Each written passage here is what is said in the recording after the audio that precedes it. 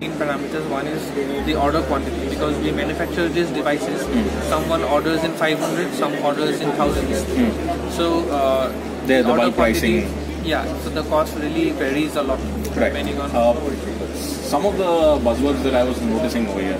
Uh, one is AI, and then uh, the whole new uh, trend of blockchain. Yes. You know, blockchain somehow gives the impression that it uh, improves on accountability and traceability. Yes. How does that happen really at the grassroots level? That's right. At first, I will tell you how we have used AI in this device. Yeah. AI is very widely used, like you, but uh, in our case, we have uh, an, uh, these airline guidelines by aircraft operators that they cannot allow any electronic device to be transported on their aircrafts Right. which emits radio frequency.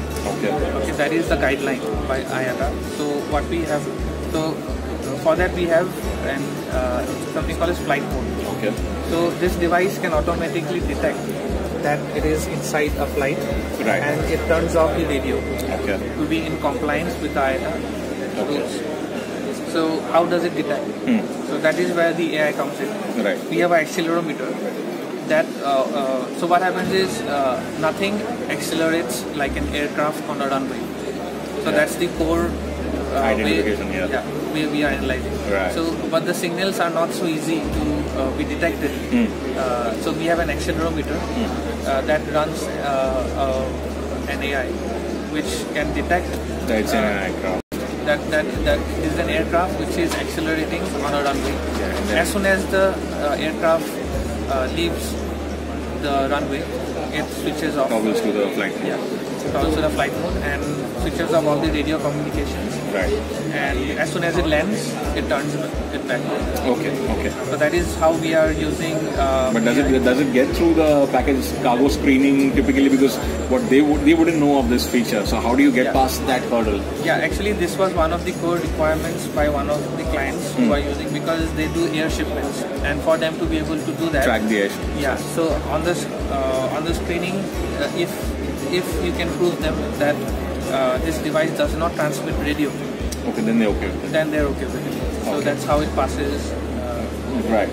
and It sounds very convincing. Now, how do you sell this concept in India? in in India, uh, that is.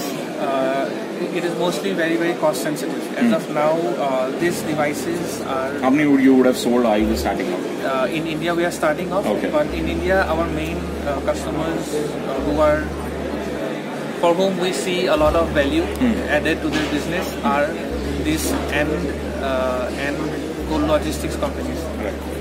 There are a lot of cold co- uh, there, are these cold, cold logistics companies who are Hmm. transporting vaccines and other uh, medicines uh, in the end mile. Right. Just like you have food deliveries uh, with a backpack.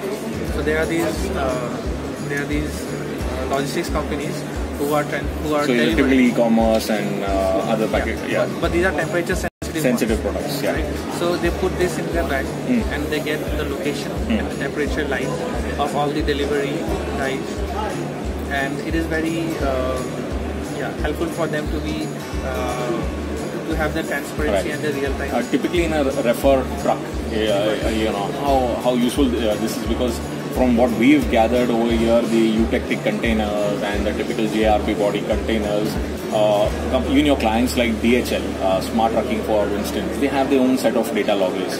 So to such big fleet players, uh, would something like this be of interest? Yes. So uh, this more than this, I think uh, this product would be of more interest, which Right. is uh, which is the real-time data logger. This completely eradicates all wires that you that usually typically people have. Correct. You just need to charge it once in a year or replace the battery once in a year, Right. and it will send you the temperature and humidity data, data Right. uh, live in real time. Right. Uh, before I ask you the final uh, question, can you show us the software interface? Absolutely. Uh, you know, what kind of metrics can we look forward to? Definitely. So, so uh, this is the dashboard we have. Right. Okay. So the dashboard uh, is designed with the first view of the dashboard is designed with the overview in mind. Hmm. So uh, a person who is using this system will hmm. have around hundred, sometimes in thousands, hmm. and they need to have an overview of how the health of all their assets are doing, Right. all their consignments are doing. So uh, this this top part is the overview. It gives an overview of how many consignments he has, how many devices it has, uh, how many uh, consignments have temperature violations, how many have light violations, how many have light violation meaning how many boxes have been Tampered with. yeah detected tampering, and How many uh, had a fall?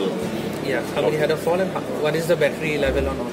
Right. So the whole idea is that the user, uh, the dashboard tells the user where he needs to pay his attention to, Right. and uh, it will just point out where in, where the um, dashboard needs needs his attention. Right. So it will color highlight those areas. Right. Oh, So that is the first part. right. Mm, and the second part is uh, basically all your uh, consignments will be visible on the right hand side Okay. as a card and when you click on them uh, you can see uh, how the device has traveled now I'll just click on this how it has traveled from along the way Right. and the temperature corresponding temperature uh, this device sends data every half an hour Okay. so wherever it has sent data, you can see the points. And when you click on any point, you can see the temperature at that point, what it was. Okay. And it all happens, all of this data happens from this small uh, device. Right. And uh, no no connections, no you need not worry about SIM connectivity, nothing. Right. Everything is managed by us. Right. All you need to do is uh, drop drop the device, what you need to track. Right, right. So big data clearly seems to be uh, your core uh, USP. Uh, to end it up all, you know, your growth areas, your challenge areas over the next few quarters, you know, a lot happening in terms of uh, slowdown economy. Uh, at the same time, you are bringing in those disruptions. And uh, when it comes to the CV industry, BS6 rollout happens uh, next year. So with these changes, uh, you know, how much uh, growth do you see in the coming quarters? Uh, growth definitely uh, in India we are seeing uh, we are seeing good traction, especially uh, in, with respect to cold chain, where the government themselves are supporting a lot of businesses uh, with tax benefits. Right. So uh, we are also exploring the market at the same time. Right. So on uh, with respect to uh, cold shipments and the losses that are happening, uh, IoT is where we uh, is really helping in that front to have the transparency of uh, where things are going wrong. So a lot of there's a lot of insights that it, uh, this chain logistics companies need to know uh, where where where they are doing wrong, where where consignments are uh, having temperature excursions. So with the information of location and with the information of temperature, they are able to really have a rugged, what they call as chain. Chain is a link. Yeah. Is a link between two three parties. So they are able to see where the where is the weak link in the chain. And replace them. Yeah. So that is where uh, the lo- the combination of location and temperature. Right. Uh, any big challenge for you, uh, you know, while you do this? Uh, one of the uh, core challenges we have seen is uh, manufacturing our own indigenous devi- devices in India uh, in competition to China. Okay. And uh, compared to the facilities that they have in China, uh, in India it is not yet so rich. So um, yeah, in manufacturing uh, we are always competing directly with China, directly with uh, the devices from Korea, from uh, so our competitors are mostly China in and China and yeah. So there is that competition, but software-wise, India is leading very well.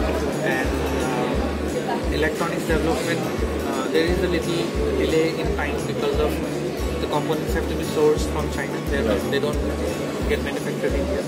Otherwise, uh, yeah, yeah. Otherwise, other than manufacturing, I think this is the, that is the reason why most of India companies gravitate towards China and they try to develop it there because of the competitive advantage Right. the ecosystem gives. But I'm sure uh, we are uh, we are going to have a much better ecosystem as it as we are growing as an economy we are growing. You're confident. we are confident. We are Okay. Thank you so much. I'll end it at that. Thank you. Thank you. confident. Thanks.